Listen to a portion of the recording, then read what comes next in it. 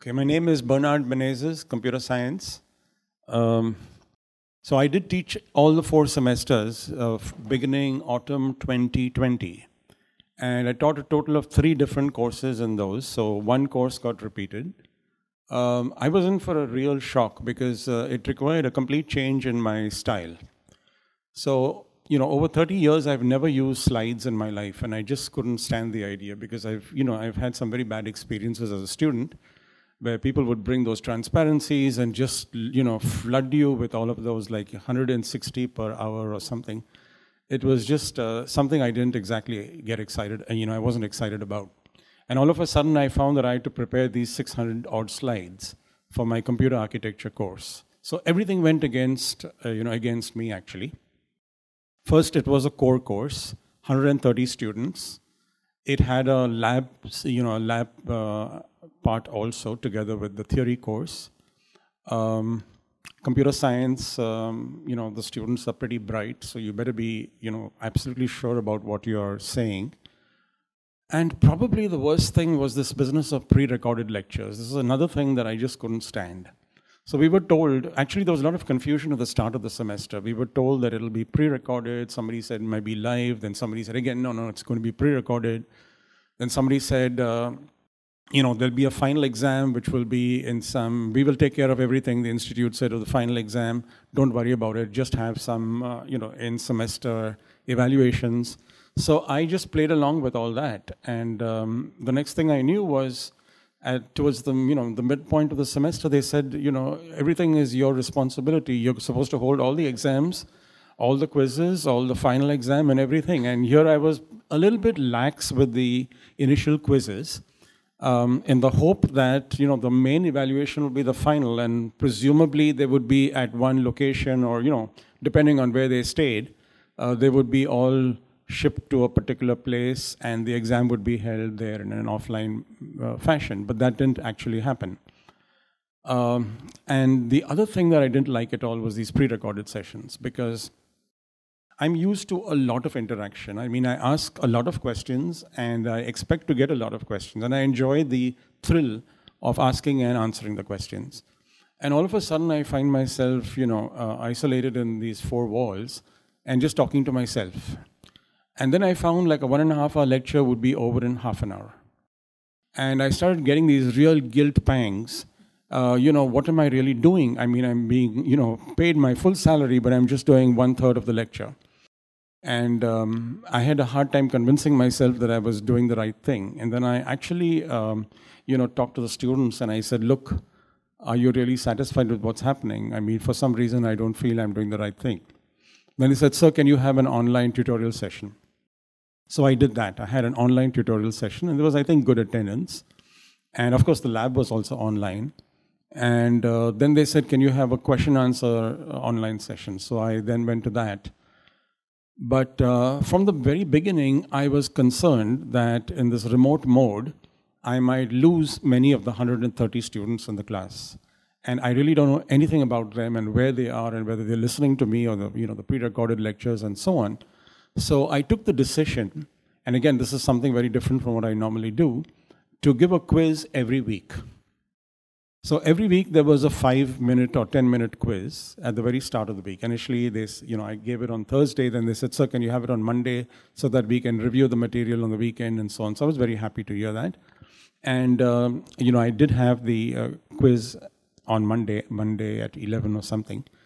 And um, so I expected, so there was also an assignment every week. One theory assignment, one lab assignment. Basically, the goal was not so much to evaluate people, but to engage them because I had this real, real feeling, you know, fear that they might just vanish. Like about 30 students out of the 130 would vanish. So I was very curious to know what happened after the first quiz. And believe it or not, except for two students, everybody else gave the quiz. So I thought that was a sort of a little bit of a triumph. And the same thing with the assignments. And then it like, you know, it, it's like you brushing your teeth. You just get used to it every day. So every week, the students were used to getting an assignment and having a quiz. And they settled into that routine quite uh, nicely. And um, the performance was decent. And then I was in for quite a bit of a shock in the final exam. So uh, normally what I did is because, you know, since I wasn't uh, actually teaching uh, physically, uh, what I decided to do was to have some easy questions, like I always do, but the easy questions would be easier than the usual exam. And then the hard questions would be harder than the usual exam. And to my consternation, what I found was that the performance was actually very, very good in the final. I've never had a class where, um, what, 12 out of 130 got over a 90. So usually my final exams would be something like, and this is like over 30 years, my final exam would be, the highest grade would be 90, uh, would be 80. So here I had uh, 12 out of 130 students getting above 90. And I had three students getting a perfect score, 100 out of 100. And I mean, this included all the difficult questions. So I was really surprised and happy. Uh, so this was the first semester. The only negative thing, and nobody's talked about it right now, but it was a concern to me, and I'm sure to most of my colleagues, and that was this business of cheating. So now, how do you really handle this? I did not realize that, you know, I just took them, you know, I just trusted them in the initial couple of weeks when I gave the quiz. And part of the reason was, as I said, it was not so much to evaluate people, but to engage them. And uh, for some reason, I thought that 20% of the grade would be on the um, in semester stuff and 80% on the final. And of course, all that changed midway through the course. And uh, the first couple of quizzes, I have reasons to believe that it wasn't proctored very well, and there was quite a bit of cheating.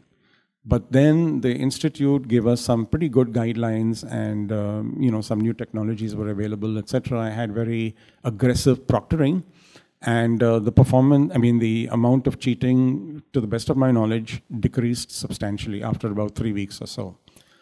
Uh, I wouldn't say there was no cheating at all. In fact, in the final exam, there was a case um, of a student.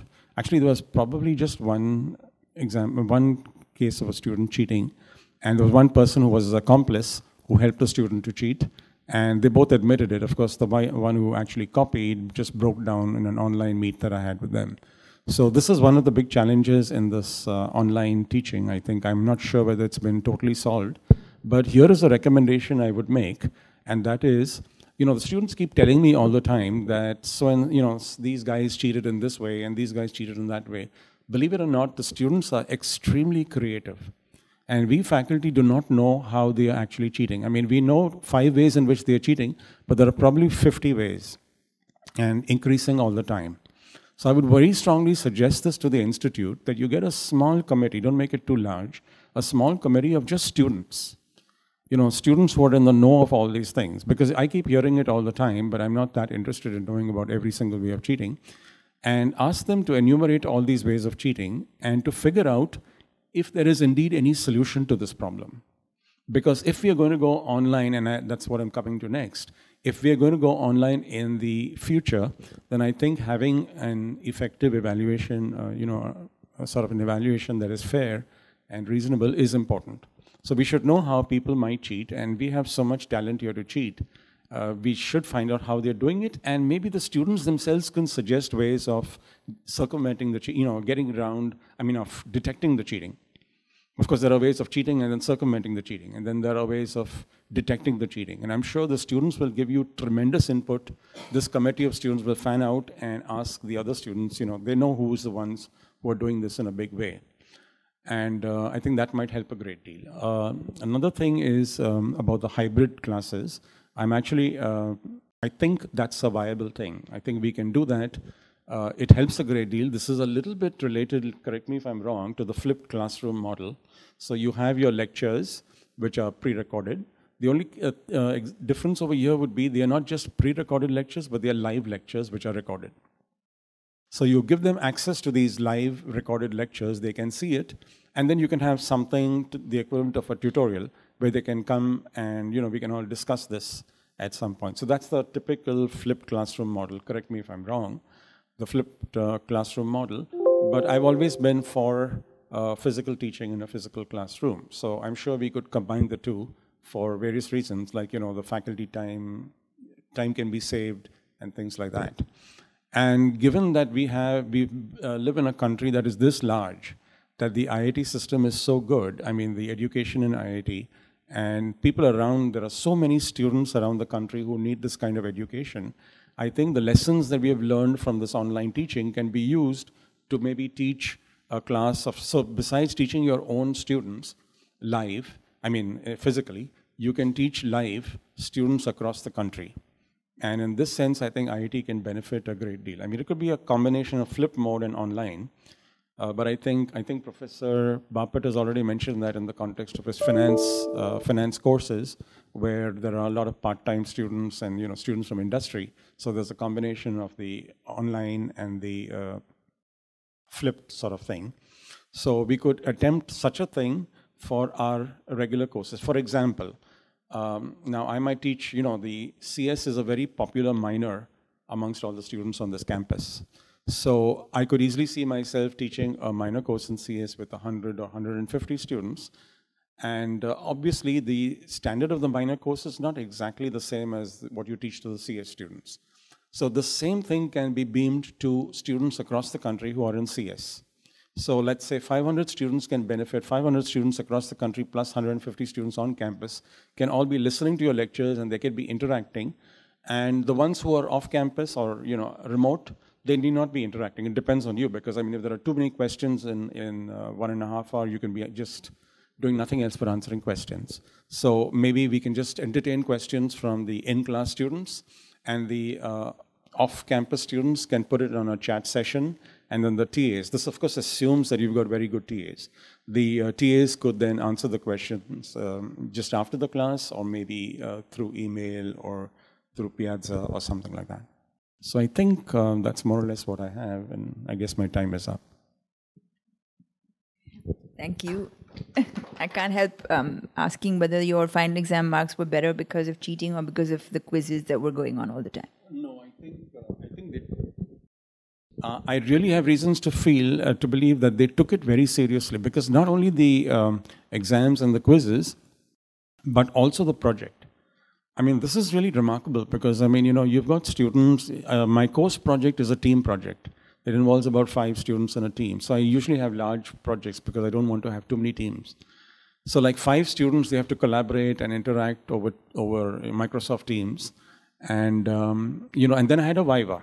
So in the Viva, you can ask all sorts of probing questions to really figure out how much they've done. And they really seem to have accomplished, at least half the teams accomplished a great deal in that.